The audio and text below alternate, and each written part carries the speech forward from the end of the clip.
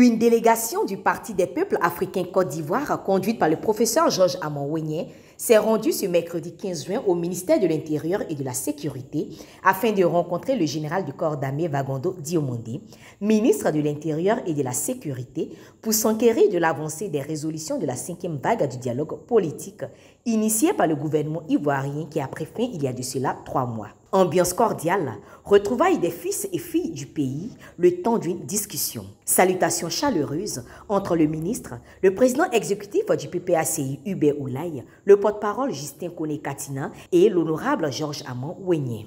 Après quelques temps d'échange, le porte-parole de la délégation du Parti des peuples africains Côte d'Ivoire nous livre la déclaration. Nous avons été, mes camarades du PPACI et moi, nous avons été reçus par. Euh, monsieur le ministre de l'Intérieur et de la Sécurité, à notre demande et au nom de notre parti, le PPACI, et de son président, son Excellence, M. Laurent Babou.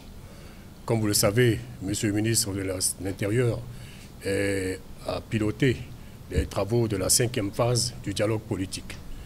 Il était normal que trois mois après, trois mois après la signature euh, de, par tous les participants de ce dialogue, euh, de ce dialogue politique, il était normal que trois mois après, nous venons nous enquérir de la suite qui a été réservée par le gouvernement aux différentes résolutions et recommandations qui avaient été mises au cours de ce, de ce, de ce dialogue.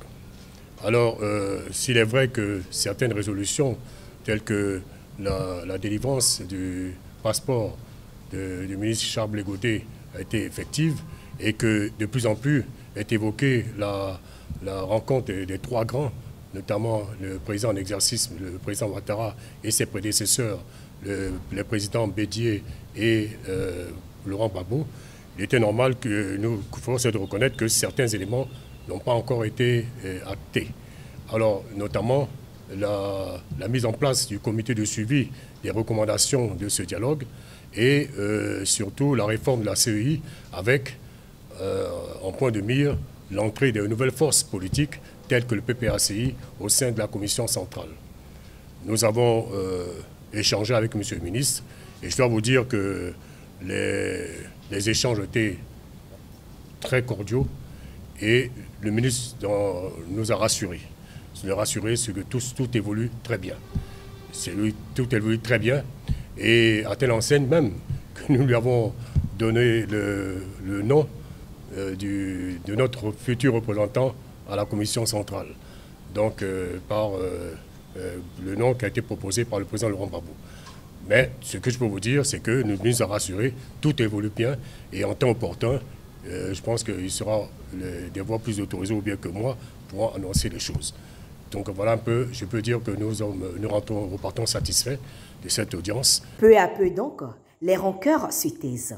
Les fils de la terre des Burni sont résolument tournés vers la réconciliation, la paix et la cohésion pour une Côte d'Ivoire unie et prospère pour, comme le dit le président Laurent Gbagbo, léguer un héritage d'amour à la génération future.